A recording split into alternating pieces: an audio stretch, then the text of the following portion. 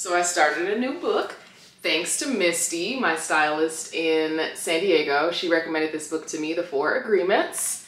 Let me just, let me just dive in. This is only chapter one. Listen to this.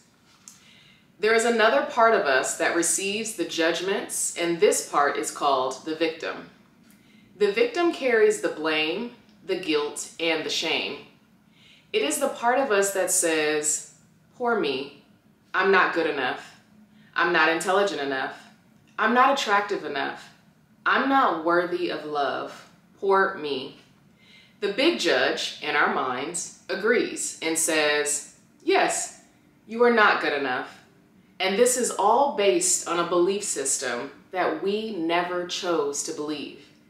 These beliefs are so strong that even years later, when we are exposed to new concepts and try to make our own decisions, we find that these beliefs still control our lives.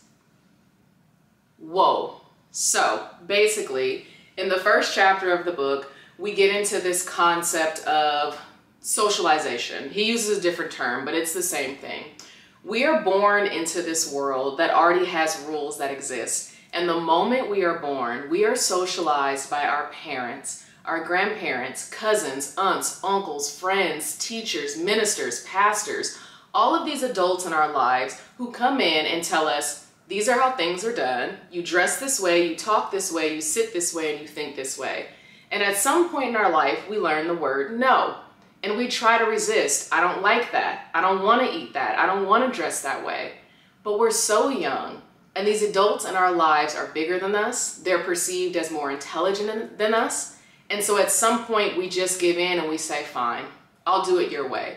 Because I'm so tired of being punished for not doing things the way you said they're supposed to be done.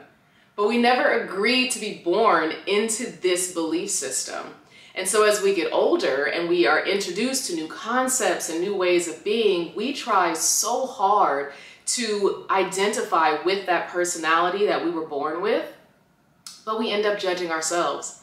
The world doesn't judge us anymore. They don't need to. We have been so socialized and conditioned that we judge ourselves. And we also play victim with ourselves. We tell ourselves things like, oh, I'm not attractive enough. Oh no, I can't, I can't do that. I'm not smart enough. And that's what limits us.